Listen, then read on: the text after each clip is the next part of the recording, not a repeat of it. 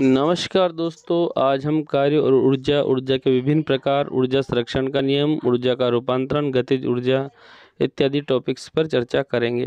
तो कार्य किसे कहते हैं? कार्य क्या है? दैनिक जीवन में हम अनेक प्रकार के कार्य करते हैं, जैसे बोझा उठाना, साइकिल चलाना, चक्की पीसना, पत्थर तोड़ना इत्यादि। इन सभी कार्य में वस्तु पर एक बल लगाया जाता है, जो कि वस्तु को उसके स्थान से विस्थापित कर देता। अतः कार्य में वस्तु पर बल और बल के फलस्वरूप यदि उसमें किसी भी प्रकार का विस्थापन हो रहा है तो उस दृष्टि में हम कह सकते हैं कि वस्तु पर कार्य हुआ है। अतः कार्य के लिए वस्तु पर विस्थापन और उस पर बल लगना अति आवश्यक है। तभी हम उसे कार्य मानेंगे या विज्ञान की दृष्टि से उसे कार्य मानेंगे। यदि किसी वस्तु पर बल लग रहा है और अगर उसमें किसी भी प्रकार का विस्थापन नहीं हो रहा है तो साइंस की दृष्टि से, विज्ञान की दृष्टि से उसे कार्य नहीं माना जाएगा। अतः कार्य के लिए दो स्थितियाँ अति आवश्यक हैं। पहला, यदि वस्तु पर बल भी लगे। दूसरा, और बल के फलस्वरूप वस्तु विस्थापित भी हो, जिसे हम कार्य की श्रेणी में रख सकते हैं। अतः कार्य क्या है? कार्य में बल और बल के साथ विस्थापन भी अति आवश्यक है, तभी हम उसे कार्य कहेंगे। अतः कार्य के लिए दो पोजीशन दो स्थितियाँ आवश्यक हैं। पहला बल, दूसरा बल के फलस्वरूप विस्थापन। कार्य कह सकते हैं। कार्य की परिभाषा क्या है? डेफिनेशन ऑफ़ वर्क जब किसी वस्तु पर बल लगाने से विस्थापन उत्पन्न हो जाए तो वस्तु पर बल द्वारा कार्य किया जाता है। इस उत्पन्न विस्थापन को कार्य कहते हैं। अर्थात हम कार्य को इस प्रकार समझ सकते हैं कि वस्तु पर बल लगाए जाए और बल के फलस्वरूप वस्तु विस्थापित हो तो हम इसे कार्य कह सकते हैं।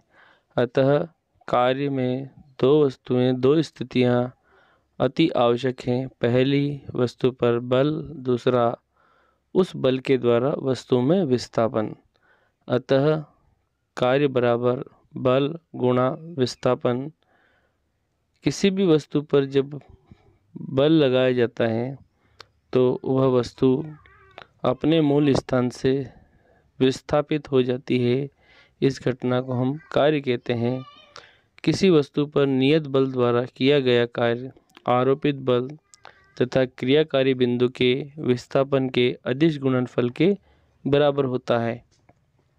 कार्य एक अदिश राशि है, क्योंकि कार्य करने पर कोई दिशा की जानकारी नहीं होती है, अतः कार्य एक अदिश राशि है। अदिश राशि जिसमें केवल परिमाण होता है, लेकिन दिशा की जानकारी नहीं होती है, जिसे हम आदिश राशि कहते हैं। अतः कार्य भी एक प्रकार की अदिश राशि है। जैसे द्रव्यमान है, वो भी अदिश राशि है।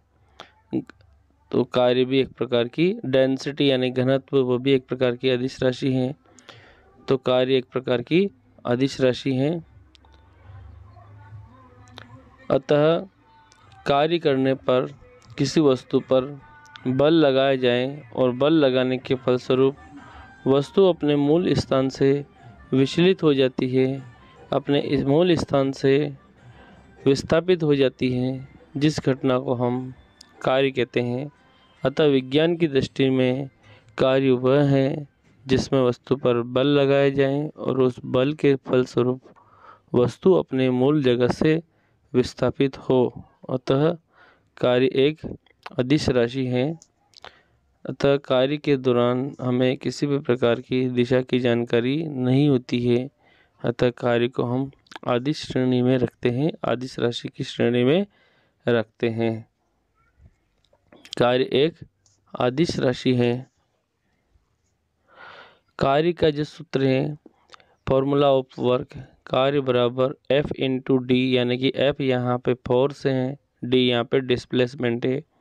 कार्य बराबर बल गुणा बल की दिशा में विस्थापन। अतः कार्य बराबर बल इंटू विस्थापन भी हम इसको कह सकते हैं। ऐसा ही पद्धति में कार्य का मात्रक क्या है? कार्य का जो मात्रक है, ऐसा ही पद्धति में जूल होता है तो कार्य बराबर बल इंटू विस्थापन। बल का मात्रक न्यूटन होता है, विस्थापन को हम मीटर से लिख सकते हैं। तो न्यूटन इंटू मीटर बराबर जूल, अतः कार्य बराबर, वर्क बराबर force into displacement F into D तो वर्क बराबर फोर्स इंटू डिस्प्लेसमेंट कार्य बराबर बल इंटू विस्थापन। बल की इकाई न्यूटन है, जबकि विस्थापन की इकाई मीटर है। अतः कार्य बराबर इसको विस्थापन को हम कार्य बराबर बल इंटू डिस्प्लेसमेंट या फोर्स इंटू विस्थापन।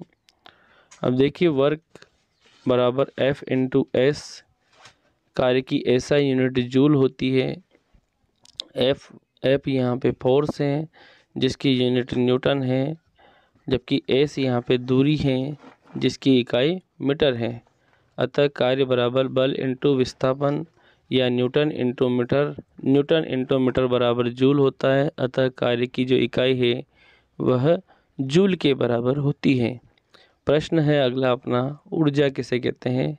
व्हाट इज़ एनर्जी तो देखिए हमारा आंसर है कार्य करने की क्षमता को ऊर्जा कहते हैं। Capacity of doing work is called energy अतः कार्य करने के लिए हमें जिस क्षमता की आवश्यकता होती है, जिस क्षमता के द्वारा हम किसी कार्य को संपन्न कर सकते हैं, वही ऊर्जा है। अतः कार्य करने की क्षमता क्या है? ऊर्जा। अतः किसी भी कार्य को संपादित करने के लिए हमें क्या चाहिए? ऊर्जा चाहिए। बिना ऊर्जा के हम किसी कार्य को संपन्न नहीं कर सकते। ऊर्जा को न तो उत्पन्न किया जा सकता है और न ही नष्ट किया जा सकता है। अर्थात जो ऊर्जा है या उष्मा है, वो सुरक्षित रहती है। यानी कि ब्रह्मांड की जो कुल ऊर्जा है, वह सुरक्षित है सुरक्षित है, क्योंकि ऊर्जा को न तो बनाया जा सकता और ना ही नष्ट किया जा सकता। ऊर्जा यही ऊर्जा संरक्षण, यह या यही उष्मा संरक्षण का नियम है। ऊर्जा संरक्षण का नियम कहता है कि energy can not be created और नॉट बी डिस्ट्रॉयड, यानी कि ऊर्जा को ना तो बना सकते हैं और ना ही नष्ट कर सकते हैं। तो क्या कर सकते हैं? अतः ऊर्जा को एक रूप से अन्य रूप में बदला जा सकता है, ट्रांसफ़र किया जा सकता है। यही ऊर्जा संरक्षण का नियम है। अगला है ऊर्जा का मात्रक, यानी कि यूनिट ऑफ़ एनर्जी। देखिए यूनिट ऑफ़ एनर्जी क्या है? जिस तरह से कार्य की जो कार्य की जो यूनिट है जूल है, वैसे ही ऊर्जा की यूनिट भी जूल है। ऊर्जा का मापन जूल में किया जाता है, अर्थात ऊर्जा का मात्रक जूल है, अतः कार्य का जो मात्रक है, वही ऊर्जा का मात्रक है, यानी कि दोनों का मात्रक सेम है। अतः देखिए, अर्थात ऊर्जा का मात्रक जूल होता है। ऊर्जा के मापन में जूल शब्द महान भौतिक भौतिकविद प्रेम्स प्रेस्कॉट जूल के नाम पर दिया गया, जिन्होंने इस क्षेत्र में काफ़ी योगदान दिया था। यानी कि जो ऊर्जा के क्षेत्र में जो भौतिकविद जेम्स प्रेस्कॉट जोले, उन्होंने ऊर्जा के क्षेत्र में महान कार्य किए। उनकी इस कार्य के योगदान में ऊर्जा और कार्य का मात्रक हम जूल लिखते हैं। जो कि जेम्स प्रोस्कोट जूल के सम्मान में दिया गया है। अतः कार्य और ऊर्जा दोनों का मात्रक समान होता है।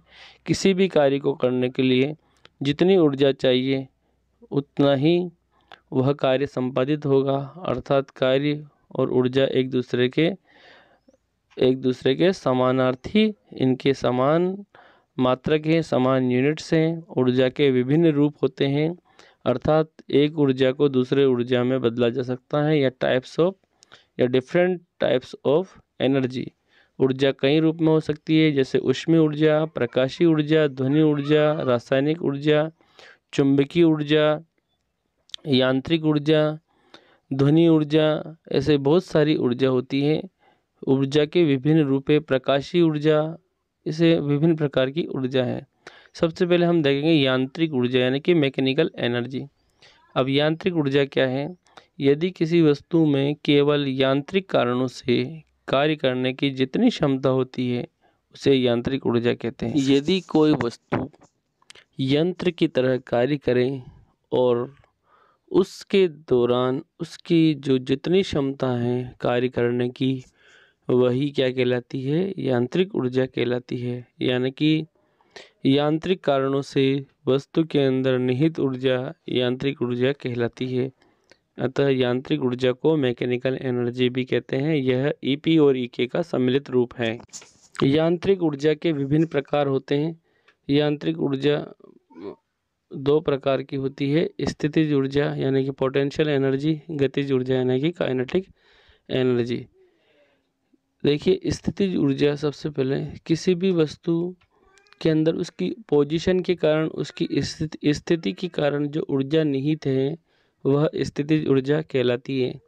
जैसे बाँध के अंदर जो पानी है, वो अपनी पोटेंशियल ऊर्जा की वजह से जब उसको हम छोड़ेंगे तो वो काइनेटिक एनर्जी में बदल जाता है। इसी प्रकार जब गिलोल के अंदर जो पत्थर होता है, उसको तानने पर उसके अंदर पोटेंशियल ऊर्जा निहित हो जाती है। इसी प्रकार तीर कमान को खींचने पर, स्ट्रेच करने पर धनुष को उसके अंदर भी स्थितिज ऊर्जा होती है। स्थितिज ऊर्जा के विभिन्न प्रकार होते हैं। पहला है गुरुत्वीय स्थितिज ऊर्जा, यानी कि ग्रेविटी के कारण स्थितिज ऊर्जा। दूसरा है प्रत्यस्थ स्थितिज ऊर्जा, ये भी प्रत्यस्थ स्थितिज ऊर्जा है। तीसरा है स्थिर वैद्युतिकी इलेक्ट्रोस्टैटिकी स्थितिज ऊर्जा। और चौथा है चुंबकीय स्थितिज ऊर्जा। स्थित ऊर्जा का फॉर्मूला क्या है? स्थित ऊर्जा को हम ई पी बराबर एम जी एच यानी कि मास ग्रेविटेशन इनटू हाइट यानी कि एच यानी यहाँ पे हाइट है। तो पी यानी कि पोटेंशियल एनर्जी बराबर एम जी एच एम यहाँ पे द्रव्यमान है पी यहाँ पे गुरुत्वीय त्वरण है, जबकि एच यहाँ पे हाइट है यानी कि ऊंचाई है। पी स्थिति ऊर्जा यानी कि ई पी बराबर एम जी एच होता है। अब गतिज ऊर्जा की अपन बात करें, यानी कि काइनेटिकल एनर्जी किसी भी वस्तु में उसकी गति के कारण, यानी कि उसके मोशन के कारण, जितनी ऊर्जा निहित है, उसे उस वस्तु की गतिज ऊर्जा, यानी कि काइनेटिकल ऊर्जा कहते हैं। काइनेटिक ऊर्जा ई के यानी कि के बराबर होता है एक बटे दो हाफ़ एम वी स्क्वायर यानी कि गतिज ऊर्जा का फॉर्मूला क्या है? हाफ़ एम वी स्क्वायर यानी कि यहाँ पे एक बटे दो मास इंटू वेलोसिटी का स्क्वायर तो के बराबर हाफ़ एम वी का स्क्वायर होता है। देखिए इसमें एम बराबर क्या है? यहाँ पे द्रव्यमान है। वी बराबर क्या है? वेग है। के का मतलब क्या है? के बराबर गतिज ऊर्जा। तो हाफ़ एम वी स्क्वायर किसका फॉर्मूला है? काइनेटिक ऊर्जा का, यानी कि गतिज ऊर्जा का। अतः गतिज ऊर्जा किसके बराबर होती है? हाफ़ एम वी स्क्वायर के बराबर होती है। ऊर्जा संरक्षण का नियम क्या कहता है?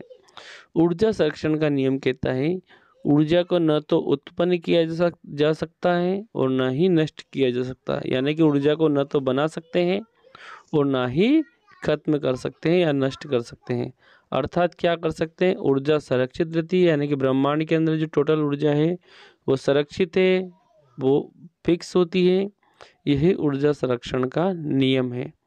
अतः ब्रह्मांड की टोटल ऊर्जा संरक्षित होती है और यह एक प्रकार की ऊर्जा से दूसरे प्रकार की ऊर्जा में रूपांतरित या परिवर्तित होती रहती है। अतः कोई एक एनर्जी अन्य एनर्जी में रूपांतरित हो जाती है, यही ऊर्जा संरक्षण का नियम है। अतः ऊर्जा को न तो बनाया जा सकता, ना ही नष्ट किया जा सकता, इसको एक रूप से अन्य रूप में बदला जा सकता है, यही ऊर्जा संरक्षण का नियम है। अतः टोटल जो ऊर्जा है ब्रह्मांड की, वह उतनी ही रहेगी। केवल उसके जो रूप हैं, वो बदल जाते हैं। जैसे पवन ऊर्जा, विद्युत ऊर्जा में बदल सकती है पवन चक्की के दौरान। इसी तरह से जो विद्युत ऊर्जा है, वो पवन ऊर्जा में बदल सकती है। तो ऊर्जा जो है, वो ब्रह्मांड के अंदर, पूरे संसार के अंदर फिक्स होती हैं, लेकिन उसके रूप बदल जाते हैं। अतः ऊर्जा को न तो नष्ट किया जा सकता और न ही बनाया जा सकता, है। यही ऊर्जा संरक्षण का नियम है। ब्रह्मांड की जो कुल ऊर्जा है, संरक्षित होती है, सुरक्षित होती है। ऊर्जा संरक्षण का जो नियम है, देखिए ऊर्जा के रूपांतरण, विभिन्न प्रकार के रूपांतरण है। ऊर्जा को कैसे एक रूप से दूसरे रूप में बदलते हैं? सौर सेल जो फ़ोटो सेल होते हैं, वो प्रकाश ऊर्जा को विद्युत ऊर्जा में बदलते हैं।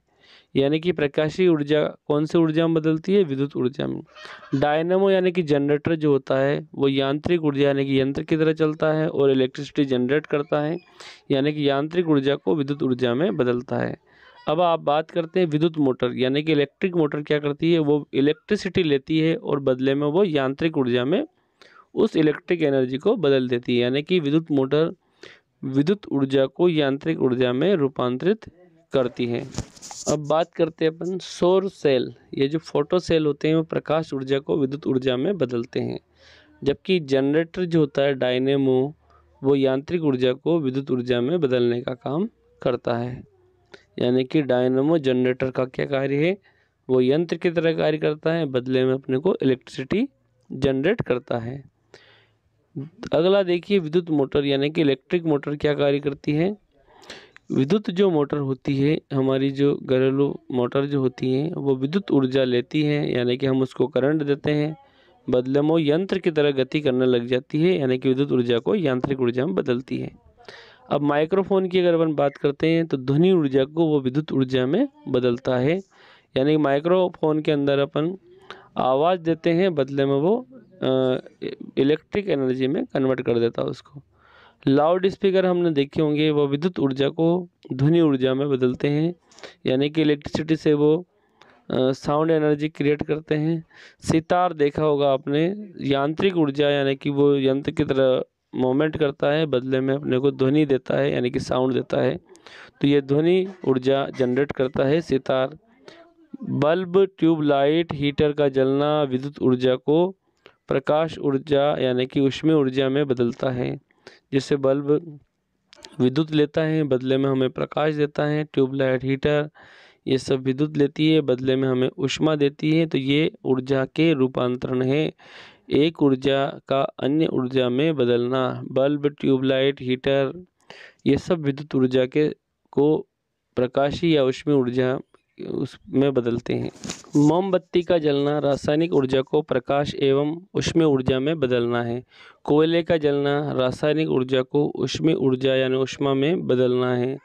अगला, विद्युत सेल रासायनिक ऊर्जा को विद्युत ऊर्जा में बदलना है। इंजन उष्मीय ऊर्जा को यांत्रिक ऊर्जा में बदलता है। प्रकाश, विद्युत सेल प्रकाश ऊर्जा को विद्युत ऊर्जा में बदलता है। वीडियो को अंत तक देखने के लिए आप सभी का धन्यवाद। जय हिंद, जय भारत, वंदे मातरम। Thanks for watching.